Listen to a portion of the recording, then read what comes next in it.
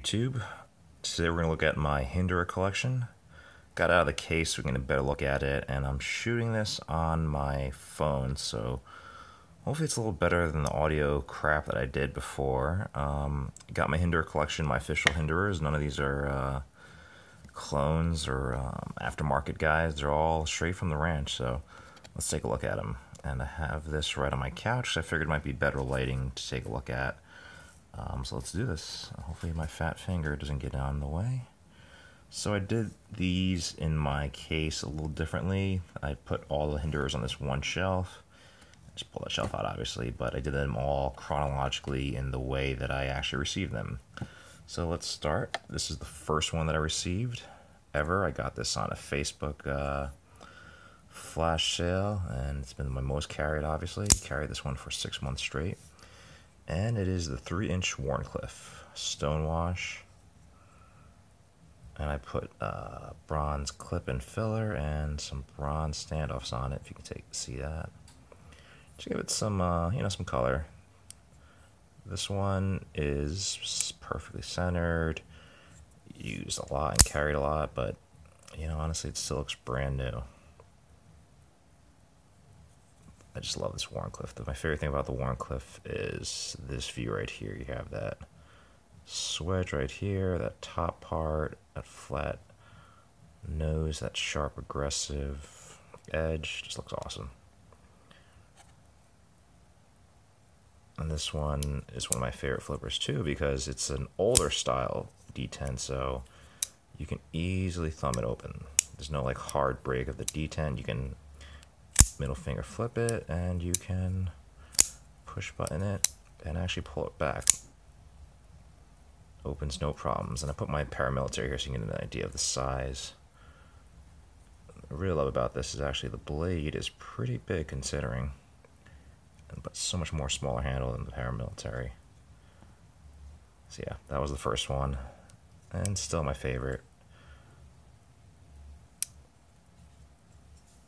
the next one I got, also on the Facebook. Um, this one's really cool. This is one I've wanted ever since I got it in Hinderers. This is a 3 inch Spanto.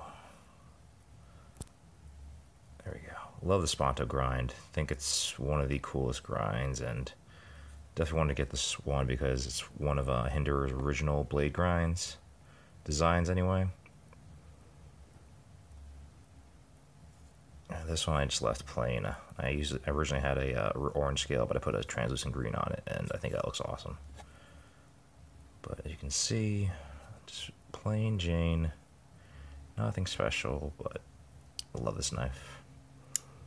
This one has a much harder detent, so I don't know if you can you can probably even hear it. It just flies out, break the detent breaks, and it just flies out. This one you can't really slowly thumb open like the last one. It's, it's like as soon as you break that detent, it just flies open. So, yeah, I can't even slowly open it as opposed to this one, which is the older style detent, which, look at that, you just slowly can thumb it. I actually like this because you can do this. That one, I could try to shake that one out all day. Ain't gonna happen. Again, pretty plain S35VN, stonewashed. Really fits really good in the hand. Good user, really strong knife. Love it.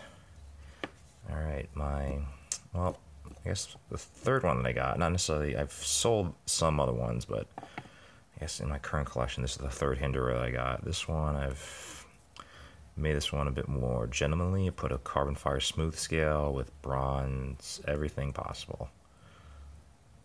Clip, nuts, standoff, screws, and pivot. This is the spear point, and this one's actually in CPM S20CV. So you don't, I don't really see these anymore, unfortunately, but really good steel on paper. Uh, really love the way this feels. This thing is, is my current most carried knife. It used to be that one, but now it's this one. It's like no nonsense, straightforward and I just love kind of like that gentleman look of like the carbon fiber. Oop. To give you an idea of size, here is that guy. Very similar. but definitely this one's a lot more beefier. Much, much better flipper, much thicker stock.